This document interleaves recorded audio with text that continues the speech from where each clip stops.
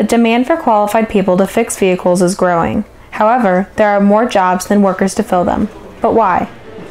Kids are a lot different than when I grew up. I grew up as one of those kids that took the lawnmower apart, got in trouble for it, but I learned a lot from that. Learned how to use tools. I helped dad on the farm, helped him on his truck, helped grandpa build my own bicycle, and fix my own toys that I broke when I was a little kid, but that got me to the point where I could use tools. People don't do that anymore.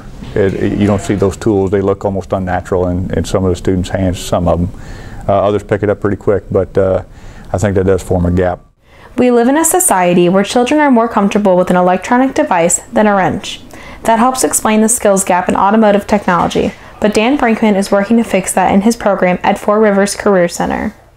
We go in depth, and when you come out of here, you got a very firm understanding if, if you apply yourself. They've taught me a lot about how about what I need to know to work on them, and they've really, really told us a lot about being a good employee, getting us ready to actually work not just teaching us how to do the stuff. The Automotive Technology program does more than teach the mechanics of tomorrow. It helps students discover themselves. I've had that person in here where they've never had any confidence in themselves. They've never they've never seen any kind of pride in their own work. One guy in particular, his junior year, you gotta you gotta feel for the fella. He watched his feet when he walked.